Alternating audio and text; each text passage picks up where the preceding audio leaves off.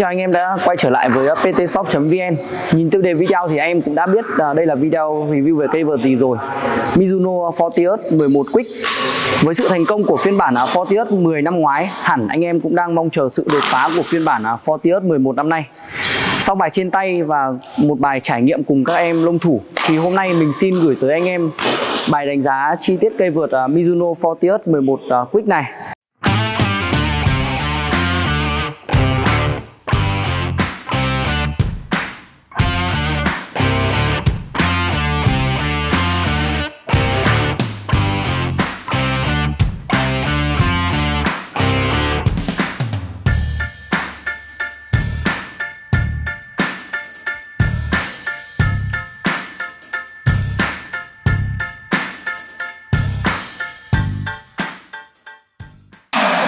Thì uh, chúng ta hãy cùng xem đến uh, thiết kế của cây uh, Fortius 11 Quick này nhé uhm.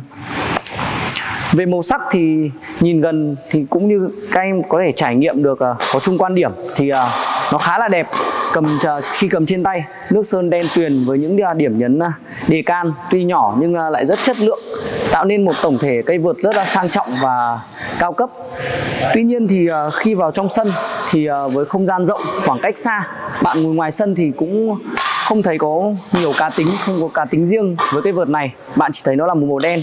Đó cũng là tình trạng chung của hầu hết các cây vợt hiện nay. Sự sự tổng hòa giữa vẻ đẹp, nhìn gần và tổng thể là rất khó. Tiếp đến là về à, thiết kế khung. Thì à, khung mặt vợt không có sự khác biệt nhiều thì so với phiên bản à, Fortius 10 trước đó. Chu vi mặt vợt lớn 56 inch thiết kế vành vợt cũng không có sự thay đổi gì luôn điểm thay đổi duy nhất là vành vợt à, được trang bị carbon mới, cứng hơn và triệt tiêu được độ dung tốt hơn à, phiên bản à, Fortius 10 trước đây Thay đổi lớn nhất mà mình thấy ở phiên bản Fortius 11 này so với người tiền nhiệm đó là độ cứng cũng như là độ nặng đầu. Độ cứng thì đã được Mizuno tăng lên và độ nặng đầu thì ở mức 300mm khá cao phải không anh em? Điểm khác biệt nữa đó là thân vợt được làm ngắn lại hơn một chút so với à, phiên bản 10 Quick năm ngoái. Tổng thể lại thì anh em đã hình dung à, ra cây vượt này như thế nào? Để biết à, chính xác được thì bây giờ chúng ta cùng đi vào chi tiết từng cú đánh của cây vượt này nhé. Cây vượt trong bài viết mình sử dụng là cây vượt được căng cước 80 power với mức căng là 12 kg.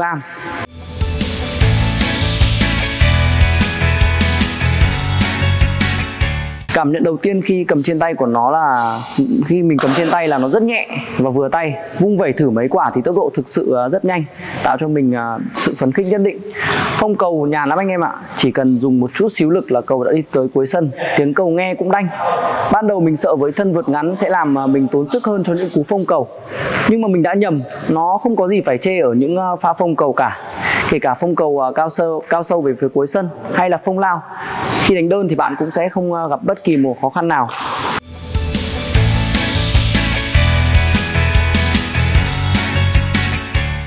Tiếp đến là những pha tấn công thì đúng như cái tên gọi của nó uh, quick là nhanh.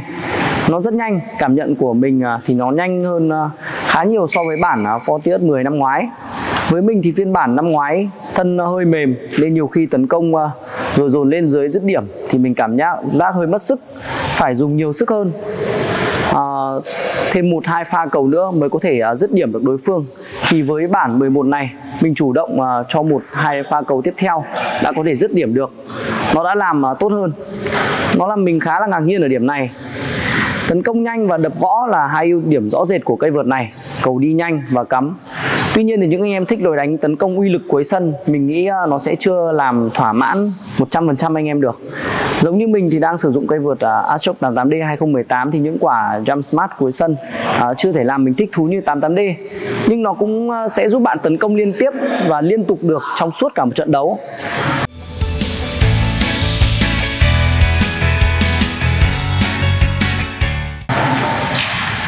Cây 11 Quick mình à, đang sử dụng để review cho mọi người thì là căng cước 80 Power của Yonex, mức căng là 12 kg. Loại cước này thì như mọi người đã biết thì nó chỉ thích hợp à, đánh tấn công phía sau khi mà sợi cước này à, khá là khô và cứng nên để mà chơi trên lưới thì nó sẽ không hợp lý. Nhưng bù lại thì cây 11 Quick nó được nó đã khắc phục được điều này thân vượt à, rất ngắn mặt vượt lớn. Đây là một điểm cộng của cây vợt này nhé. Nó giúp bạn xử lý rất là nhanh cầu xử lý chính xác theo ý của mình.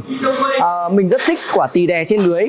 Nó khá là chủ động dồn đối thủ lùi lại và mọi chuyện trở nên dễ dàng hơn khi mình à, tiến lên được sát lưới. Khả năng bỏ nhỏ cũng rất ổn định thân vượt cứng mặt vượt ổn định nên là mình rất tự tin khi thực hiện các kỹ thuật à, kéo lưới hay là kê cầu ở trên lưới.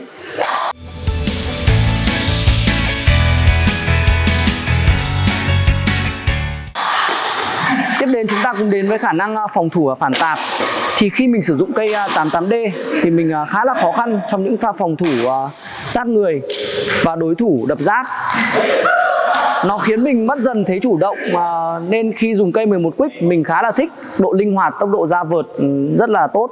Đối thủ đập giáp thì mình vẫn có thể chủ động phòng thủ được.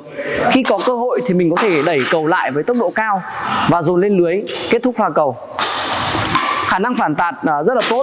Cầu đi cắm và tốc độ nhanh hơn hẳn cây 88D mình đang sử dụng. Nó sẽ là điểm cộng của những anh em thích lối đánh à, phản tạt à, nửa sân phía trên.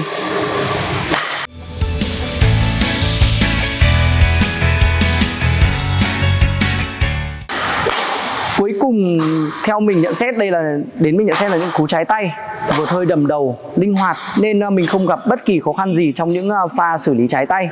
Mình hoàn toàn làm chủ được những pha trái tay từ những pha ve xử lý ngắn trên lưới hay là ve cầu cao sâu đều rất là ok. À, anh em tay yếu hoàn toàn có thể yên tâm à, khi sử dụng à, cây vượt này.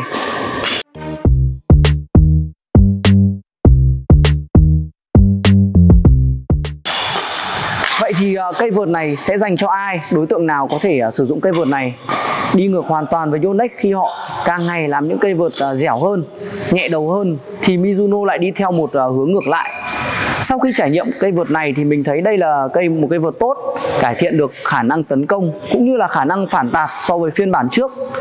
Nhưng mình nhận thấy trong số các anh em trải nghiệm cùng mình thì có những anh em trước đây đánh cây à, 10 quick rất tốt thì với cây 11 quick này cảm giác lại hơi đuối, nhất là về nửa cuối xét nó sẽ dành cho các anh em tay có lực uh, khá trở lên những anh em thể có thể lực và cổ tay trung bình khá thì sẽ không thể phát huy được uh, hết sức mạnh của cây vợt này mà ngược lại nó lại ngốn thể lực của anh em nhanh hơn Fortius 11 Quick sẽ thích hợp với anh em à, ưa thích lối đánh tấn công nhanh, tỉ đè phản tạt, dồn lên lưới và kết thúc pha cầu.